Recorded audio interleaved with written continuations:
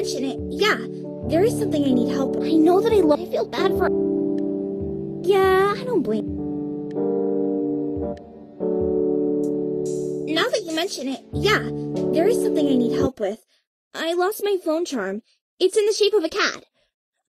I know that I lost it somewhere in the hedge maze, but I don't want to go back in there. It's scary. I'm worried I'll get lost and be stuck in there for hours. I feel bad for asking, but would you be willing to go into the hedge maze and get my phone charm for me?